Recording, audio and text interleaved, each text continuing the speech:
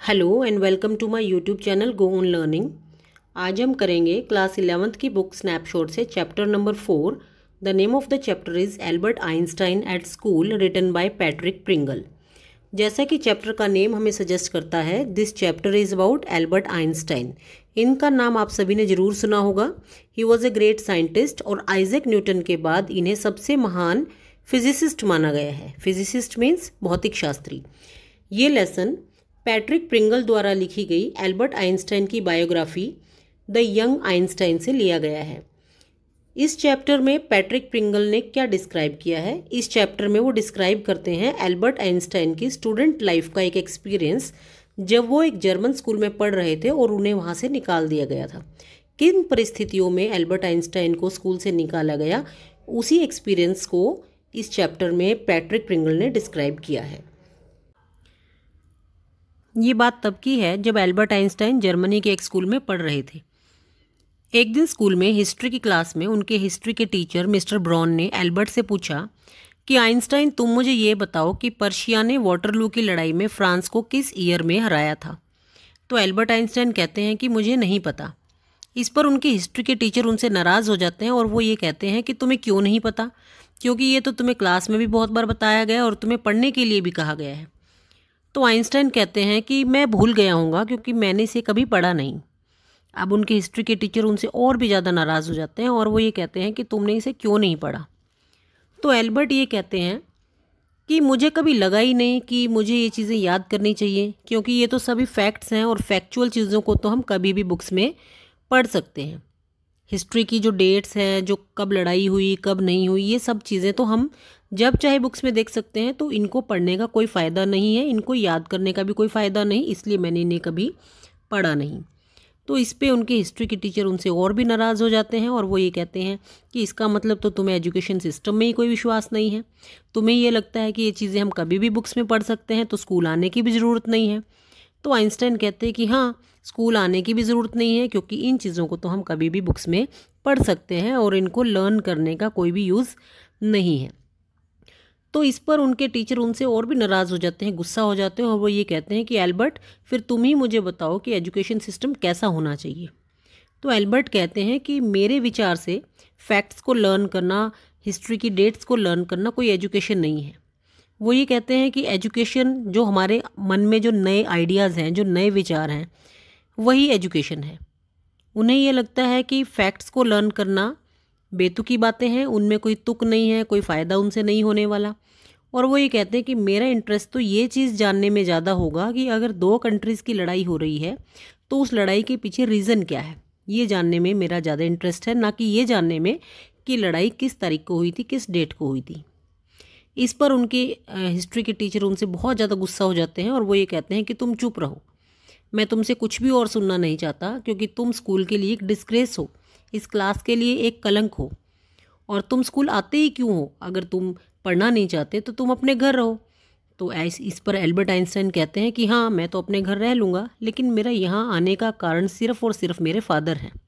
क्योंकि वो ये चाहते हैं कि मैं स्कूल से अपना डिप्लोमा लेकर जाऊँ, इसीलिए मैं स्कूल में आता हूँ। तो टीचर ने उनको बहुत डांटा और उसके बाद ये सब होने के बाद एल्बर्ट आइंस्टाइन अपने घर की तरफ़ चल पड़े। रास्ते में जाते हुए सोचते हैं कि आज का दिन कितना बेकार था। इसलिए नहीं कि उनको डांट पड़ी, बल्कि इसलिए क्योंकि उनको स्कूल में आना फ्रूटफुल नहीं लगा था। उनको स्कूल में आने का कोई फ़ायदा नहीं लगा था। उनको वो चीज़ें सीखने को नहीं मिली थी जो वो सीखना चाहते थे। और उनको ये लग रहा था, कल भी मुझे इसी जगह आना पड़ेगा जहाँ पे वो कभी भी आना नहीं चाहते। तो इसलिए उनको स्कूल में आना बिल्कुल भी अच्छा नहीं लग रहा था और आज का दिन भी उनको बहुत बेकार लग रहा था। एल्बर्ट के फादर के पास बहुत ज़्यादा पैसा नहीं था, इसलिए उन्होंने एल्बर्ट को म्यूनिक नाम के शहर में, एक स्लम एरिया में, एक झुग्गी झोपड़ी वाले एरिया में रहने को कमरा दिलवाया था। उसी शाम एल्बर्ट अपने एक दोस्त यूरी से मिलते हैं और वो ये बताते हैं कि मैं जिस एरिया में रहता हूँ, वहाँ पे बहुत गंदगी है, मुझे वहाँ पे खाना भी अच्छा नहीं मिलता, मैं वहाँ पे कंफर्टेबल भी नहीं रह पाता। लेकिन ये सब चीज़ें मैं बर्दाश्त कर सकता हूँ। स्लम एरियाज़ की जो सबसे गंदी चीज़ है, वो वो है वायलेंस वो यूरी को बताते हैं कि जहाँ मैं रहता हूँ, उस घर में जो मकान मालकिन है, वो अपने बच्चों को हर रोज़ पिटाई करती है और वो बच्चे सारा दिन रोते हैं और शाम को आकर उस मकान मालकिन का पति शराब के नशे में उसकी पिटाई करता है। तो एल्बर्ट यूरी को ये बताते हैं कि ये सब वायलेंस उन्हें बिल्कुल भी अच्छी नहीं लगती। तो यूरी इस पर कहते हैं कि एल्बर्ट कम से कम तुम्हारे पास रहने को अपना कमरा तो है, लेकिन इस पर एल्बर्ट यूरी को कहते हैं कि कमरा तो है, लेकिन तुम कम से कम जहाँ पे रह रहे हो, वहाँ पे सभ्य लोग हैं। जहाँ पे मैं रहता हूँ, वहाँ पे बिल्कुल भी सभ्य लोग नहीं हैं। तो इस पर यूरी कहते हैं कि जहाँ मैं रह रहा हूँ, वहाँ पे सभ्य पढ़े लिखे स्टूडेंट रहते हैं, लेकिन उनमें सभ्यता बिल्कुल भी नहीं है। और वो एक उदाहरण बताता है कि कुछ दिनों पहले वहाँ पे रहने वाले दो स्टूडेंट्स की आपस में लड़ाई हुई। और एक स्टूडेंट ने दूसरे स्टूडेंट को जान से मार दिया। और जिसने मारा, उसको इस बात की चिंता थी कि मेरे चेहरे पर उस लड़ाई में एक भी निशान नहीं आया। क्योंकि उसे ये लगता है कि उसके चेहरे पर अगर चोट के निशान आते तो वो लोगों के आगे डिंगे मार सकता था बोस्ट कर सकता था और उन चोटों को वो अपने लिए सम्मान के निशान समझता। तो ऐसे स्टूडेंट्स के बारे में सुनकर एल्बर्ट बहुत हैरान होते हैं और वो ये कहते हैं कि अच्छा ऐसे बच्चे वहाँ पे रहते हैं और वो अपने आप को पढ़े लिखे कहते हैं। तो यूरी कहता है कि हाँ वहाँ पे इसी तरह के बच्चे रहते हैं और वो बिल्कुल भी सभ्य नहीं है। जब तुम अपना डिप्लोमा कंप्लीट कर लोगे तो तुम भी तो वहाँ पे एक दिन स्टूडेंट बन के आओगे और उस एरिया में रहोगे तो तुम तब खुद ही देख लेना कि किस तरह के वो बच्चे हैं। तो एल्बर्ट इस पे कहते हैं, थोड़ा सा उदास हो जाते हैं और वो कहते हैं कि नहीं यूरी, मुझे तो शक है कि मैं अपने स्कूल का डिप्लोमा कभी पूरा ही नहीं कर पाऊँगा और मैं वहाँ पर तुम्हारे वहाँ रहने भी कभी नहीं आ पाऊँगा। तो यूरी पूछते हैं, ऐसा क्यों? तो एल्बर्ट उसको बताते हैं कि क्योंकि मैं जहाँ पर जाता हूँ पढ़ने के लिए, वहाँ पे मुझे बिल्कुल भी इंटरेस्ट नहीं आता पढ़ाई में और मुझे कुछ भी अच्छा नहीं लगता। जो चीज़ें मैं सीखना चाहता हूँ, वो चीज़ें मुझे वहाँ पर सीखने को नहीं मिलती और मुझे वहाँ पे चीज़ों को सिर्फ़ याद करने के लिए कहा जाता है, जो मैं नहीं करना चाहता। तो मुझे शक है कि मैं शायद पास ना हो पाऊँ। तो यही सब बातें वो अपनी सिस्टर एल्सा को भी बताते हैं। एल्सा उसकी कज़न सिस्टर है एल्बर्ट की और वो म्यूनिक में आई है। बेसिकली वो बर्लिन में रहती है और यहाँ पे कभी कभी एल्बर्ट से मिलने के लिए आया करती थी। तो यही सब बातें वो एल्सा को भी बताते हैं कि मैं शायद पास नहीं हो पाऊँगा और इस पर एल्सा एल्बर्ट को कहती है कि ऐसा कुछ नहीं है एल्बर्ट तुम अगर मेहनत करोगे, अगर तुम चीज़ों को याद करोगे तो तुम पास हो जाओगे। वो ये कहती है कि मैंने ऐसे बहुत सारे बच्चे देखे हैं जो तुमसे भी ज़्यादा नालायक हैं और तुमसे भी ज़्यादा वो स्टडीज़ में पीछे हैं और वो चीज़ों को याद करते हैं, तोते की तरह रट लेते हैं और उसको एग्ज़ाम में लिख कर आ जाते हैं और वो पास हो जाते हैं। तो इस पर एल्बर्ट कहते हैं कि एल्सा, यही तो प्रॉब्लम है कि मैं चीज़ों को रट नहीं सकता, मैं चीज़ों को क्रैम नहीं कर सकता और इसीलिए मैं पास नहीं हो पाऊँगा। तो एल्सा कहती है कि चलो जो भी हो, लेकिन तुम मार्क्स तो तभी ले पाओगे जब चीज़ों को तुम याद करोगे। और एल्बर्ट की समस्या यही थी कि वो चीज़ों को याद नहीं कर पाते थे। अब एल्सा एल्बर्ट से पूछती है कि, एल्बर्ट, आजकल ये तुम क्या पढ़ रहे हो? एक बुक है जो तुम हमेशा अपने पास रखते हो। तुम इसमें क्या पढ़ रहे हो? तो एल्बर्ट उसको बताता है कि, ये बुक जियोलॉजी की बुक है। इसमें साइंस का स्टफ़ है। इसमें चट्टानों के रॉक्स के बारे में चीज़ें हैं और मैं इनको पढ़ता हूँ। तो एल्सा उससे पूछती है कि, क्या ये सब तुम्हारे एग्ज़ाम में आने वाला है?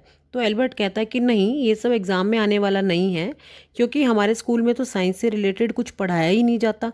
और क्योंकि इसमें साइंस के बारे में बातें हैं तो मेरा इंटरेस्ट इसी चीज़ में है तो इसलिए मैं इसको सिर्फ़ अपने इंटरेस्ट के लिए पढ़ता हूँ।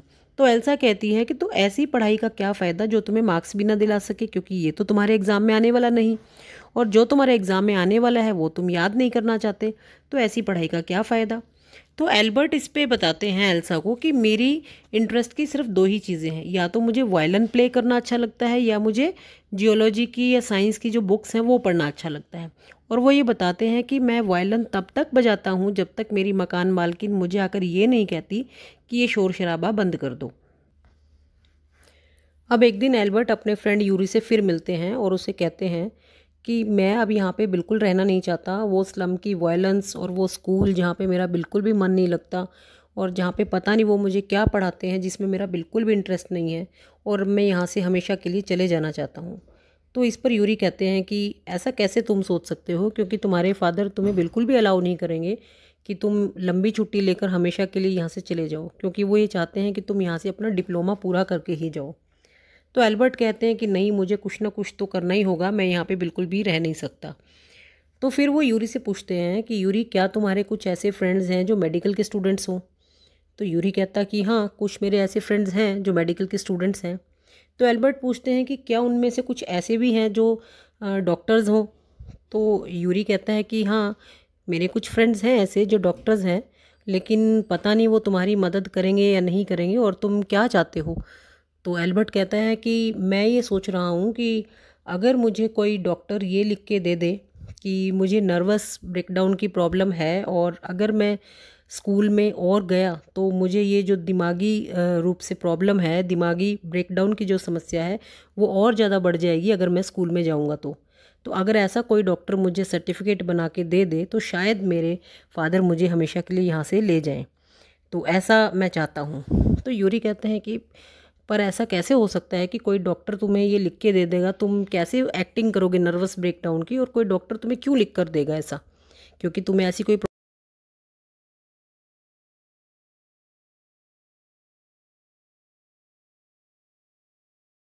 जिससे मैं ये सब लिखवा सकूँ।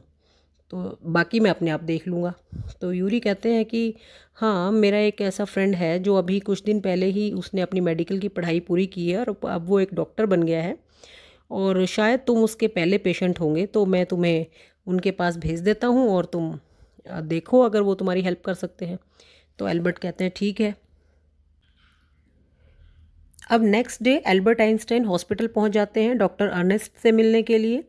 और जब वो डॉक्टर से मिलने वाले होते हैं तो उस समय बहुत कॉन्शियस हो जाते हैं। वो बहुत कुछ सोच रहे होते हैं कि डॉक्टर मेरी हेल्प करेगा या नहीं करेगा डॉक्टर मेरी बात को समझेगा या नहीं समझेगा। तो वो इतने कॉन्शियस हो जाते हैं कि उनको सच में एक नर्वस ब्रेकडाउन होने वाला होता है। और जब वो डॉक्टर से मिलते हैं तो डॉक्टर उनको बताते हैं कि यूरी ने सब कुछ पहले ही उनको बता दिया। तो इस पर एल्बर्ट कहते हैं कि यूरी को ये सब कुछ बताना नहीं चाहिए था। लेकिन क्योंकि डॉक्टर अर्नेस्ट बहुत ही अच्छे हैं, बहुत ही हेल्पफुल हैं, वो एल्बर्ट से कहते हैं कि मैं तुम्हारी हेल्प करूँगा, क्योंकि तुम्हें स्कूल जाना अच्छा नहीं लगता, तुम्हें फैक्ट्स को लर्न करने में कोई इंटरेस्ट नहीं है तो मैं तुम्हारी हेल्प करूँगा। तो लेकिन वो ये कहते हैं कि अगर मैं तुम्हें एक ऐसा सर्टिफिकेट बना दूँ कि तुम्हें स्कूल से दूर रहना है ताकि तुम्हें सीवियर नर्वस ब्रेकडाउन से बचाया जा सके तो तुम उसके बाद क्या करोगे? तुम्हारे फ्यूचर प्लान्स क्या हैं?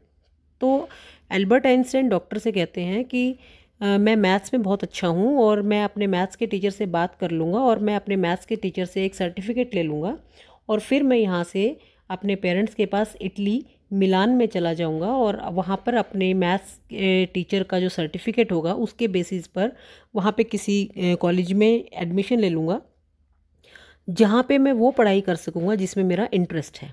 तो वो अपनी प्लानिंग इस तरह से बताते हैं। तो डॉक्टर कहते हैं, ठीक है, मैं तुम्हें इस तरह का एक सर्टिफिकेट बना देता हूँ और मुझे तुम ये बताओ कि क्या मैं तुम्हें छः महीने का सर्टिफिकेट बना दूँ? तो एल्बर्ट इस पर कहते हैं कि हाँ आप मुझे छः महीने का सर्टिफिकेट बनाकर दे दो और डॉक्टर ने उनको फाइनली वो सर्टिफिकेट बनाकर दे दिया। जब डॉक्टर ने सर्टिफिकेट बना दिया तो एल्बर्ट ने डॉक्टर से पूछा कि इसके बदले में मैं आपको फ़ीस क्या दूँ? तो डॉक्टर ने कहा कि मुझे इसके बदले में कोई फ़ीस नहीं चाहिए। अगर तुम कुछ करना चाहते हो तो यूरी तुम्हारा अच्छा फ्रेंड है और क्योंकि वो मेरा भी फ्रेंड है तो मैं चाहूँगा कि तुम उसको एक अच्छे डिनर पर या लंच पर ले जाओ। तो लेकिन क्योंकि एल्बर्ट के पास बहुत ज़्यादा पैसे नहीं थे, फिर भी वो अपने फ्रेंड को यूरी को एक डिनर पे लेके जाता है और उसको सारी बातें, जो डॉक्टर की यहाँ पे हुई, वो सारी बातें बताता है। नेक्स्ट डे एल्बर्ट आइंस्टाइन सीधे पहुँचते हैं मेडिकल सर्टिफिकेट लेकर अपने स्कूल और सबसे पहले जाकर मिलते हैं अपने मैथ्स टीचर मिस्टर कोच से। वो उनको रिक्वेस्ट करते हैं कि वो उनके लिए एक अच्छा सा मैथ्स का सर्टिफिकेट बना दें। इस पर टीचर उनसे पूछते हैं कि क्या मैं सर्टिफिकेट में ये लिख दूँ? कि अगर मैंने तुम्हें कुछ दिन और पढ़ाया तो तुम मेरे ही टीचर बन जाओगे। तो इस पर एल्बर्ट आइंस्टाइन कहते हैं कि नहीं, सर, ये तो कुछ ज़्यादा ही हो जाएगा। तो इस पर टीचर कहते हैं कि नहीं, मुझे यकीन है कि अगर मैं तुम्हें कुछ दिन और पढ़ाऊँगा तो तुम मुझे भी बीट कर दोगे और मुझसे आगे निकल जाओगे। क्योंकि मैं जानता हूँ कि मेरा स्टूडेंट बहुत ब्रिलियंट है, वो बहुत कुछ डिज़र्व करता है और वो मुझसे आगे एक दिन ज़रूर निकल जाएगा। और इतना कहने के बाद एल्बर्ट आइंस्टाइन के लिए टीचर ने एक अच्छा सा मैथ्स का सर्टिफिकेट बना दिया और एल्बर्ट को गुड बाय बोला। एल्बर्ट ने पूछा कि, सर, आपको कैसे पता कि मैं यहाँ से हमेशा के लिए जाने वाला हूँ?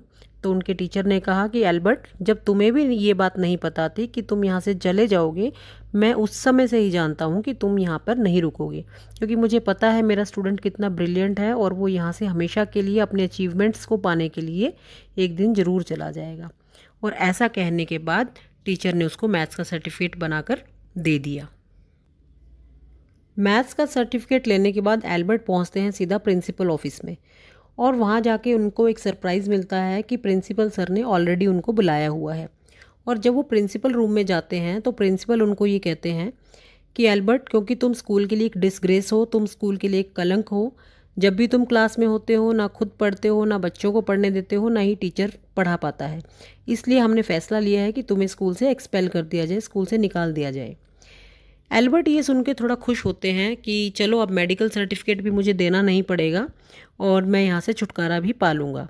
तो वो खुश होते हैं, लेकिन फिर भी वो प्रिंसिपल से ये बात पूछना चाहते हैं कि ऐसा मैंने क्या क्राइम कर दिया जो आप मुझे यहाँ से निकाल देना चाहते हो? लेकिन फिर वो सोचते हैं कि ये सब बातें मैं प्रिंसिपल से ना पूछूँ, क्योंकि उन बातों को पूछने का कोई फ़ायदा नहीं, क्योंकि वैसा ही हो रहा है जैसा मैं चाहता था। तो वो ये बातें पूछते नहीं और वहाँ से चले जाते हैं। जब वो जाने लगते हैं तो प्रिंसिपल ने उनको पीछे से आवाज़ देकर कहा कि, एल्बर्ट, जाते समय ऑफ़िस का दरवाज़ा बंद करके जाना।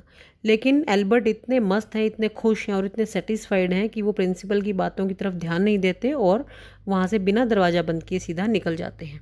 वो सीधा पहुँचते हैं अपने हॉस्टल और वहाँ पर जाके अपना सामान पैक करते हैं अपने पेरेंट्स के पास जाने के लिए और तभी यूरी वहाँ पर आकर उनको गुड बाय बोलने बोलने के लिए आते हैं। और यूरी कहते हैं कि तुम्हारे फ्यूचर के लिए बेस्ट विशेज़ मैं तुम्हें देता हूँ ताकि तुम जो भी अपने फ्यूचर में अचीव करना चाहते हो वो तुम्हें मिले। यूरी से बेस्ट विशेज़ लेने के बाद बिना और किसी से मिले एल्बर्ट वहाँ से चले जाते हैं। So this was the end of the story और हमने देखा कि कैसे एल्बर्ट आइंस्टाइन, जो कि बहुत ही नॉर्मल एक स्टूडेंट थे और वो फैक्ट्स को लर्न करने में भले ही विश्वास ना रखते हों, लेकिन वो नॉलेज गेन करना चाहते थे। और उस नॉलेज को गेन करने की ललक ने ही उनको वो बनाया, जिसको पूरी दुनिया ने एक महान फिजिसिस्ट के रूप में जाना। So this was the end of the story so if you have like the story then please do like and share the video thank you